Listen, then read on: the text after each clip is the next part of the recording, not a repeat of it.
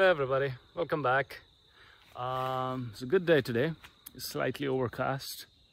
I hope there are some good rains coming because I think these plants really need some water now. Uh, it has survived this scorching summer. I think they are just waiting for some good rains. What I'm gonna do today is um, show you uh, a sugar apple tree which is uh, known as a sitaphal in India and uh, I will show you how it looks the fruit the um, the flowers uh, the tree itself. It's, it's a medium-sized temperate region tree. Doesn't quite like the 40 plus uh, degrees celsius temperature in this part of the world so it's very difficult for it to be very productive tree here. But one of them have survived here and uh, so i'll kind of show that. And then i can show you a few uh, banana plants uh, which i'm sure pretty much all of you would have seen. Okay, so let's uh, go to the Sitaphal, the one I was uh, mentioning in the intro. This is the tree. As you can see, it's not it's not a huge tree as such. It's much more a medium-sized tree. Um, the leaves are smallish, velvety a little bit, um, and uh, you can see the flowers here. This is how the flowers look. Uh, this is kind of uh, not in bloom yet uh, let me show you one which is a bit more opened up as you can see this is how this is how it looks um, the this is a temperate region tree uh, typically uh, originated actually in uh, South America, West Indies, etc. in the tropics. This is how the flowers look and this is a small fruit here. Uh, this is how the fruit looks. It has a very scaly exterior as you can see. Once you cut open the fruit the inside of it is uh, very sweet fleshy which you can fleshy material that you can kind of scoop out and eat in and of itself or you can make shakes out of it. It also has a very glossy oblong black colored seed inside which is quite prominent which cannot be consumed.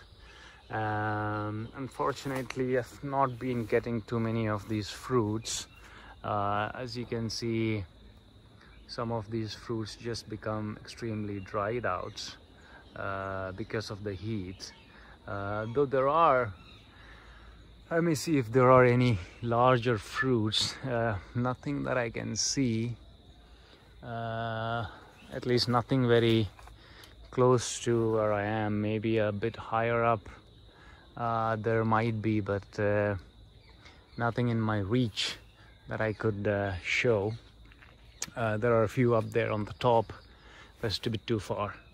Uh, but yeah, so this is this is the sitaphal or sugar apple. It's called sugar apple in English, in especially in South America and parts of West Indies, etc in India we call it sitaphal uh, we call it also we also call it uh, custard apple.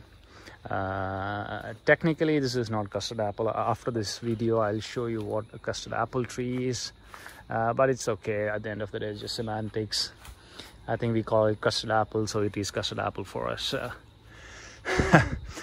this is uh, the ramphal you can see there is some difference in the leaves there are no fruits of this. This becomes much larger tree and uh, it's quite different. The leaves are quite different from sitaphal this is this is actually the custard apple but in india the sitaphal is called custard apple. This is uh, reticula uh, annona reticula tavares. The other one the sitaphal is uh, so that's the key difference. The flowers are a bit similar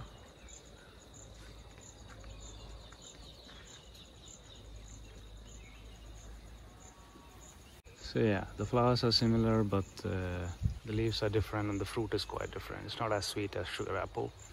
Um, you can see few new buds uh, which are coming. So I hope uh, I can get a fruit soon. Okay, so this is one of my banana plants. Uh, this is as I'm sure all of you have seen it. Uh, the typical characteristic is of course this very long leaf. Um, it's it's really a bounty from mother nature because you pretty much uh, use all parts of this tree. Um, the leaves we use for packaging we use it for food almost like a plate for some of our feasts. There is a flower which comes purple color which can be used which can is edible the banana of course edible. The inner stem of the inner stem of the the stem is edible. Uh, all of which are extremely fibrous and extremely nutritious. Unfortunately uh, given our nutritional uh, logic which is a bit weird for me we only eat the banana. And we i mean this is one of those local plants which can really become a big component of uh, local food and local food culture. Uh, unfortunately in our food consciousness we want to ship uh, carrots and uh, potatoes from kilometers away. Probably not the most sustainable thing to do but yeah. So so these days people don't eat the flower or the inner stem of this this banana plant. Let me show you if there if there is a small banana plant. As you can see there is a small banana plant here. It really grows from the root of the mama plants. And uh, actually this might not really fruit well because it's in the shade. It requires a lot of irrigation it requires uh, uh, good sunlight. There are a few more banana plants. Uh, we have had some very heavy wind thanks to a low pressure in Bay of Bengal and some of these have been uh, roughed up quite a bit because of the heavy wind. This is how the leaf looks. As you can see it's kind of folded leaf as it comes out as a new leaf and then it kind of opens up to form the much uh, broader leaf. Uh, amazing is really a bounty of nature. Something which uh, which is one of my favorite plants just because it's so useful. Every part of it is useful a bit like a bit like the coconut tree. All right so that is it for the day. Let me uh, let me wrap up the day. Hope you had fun. Stay safe. Bye bye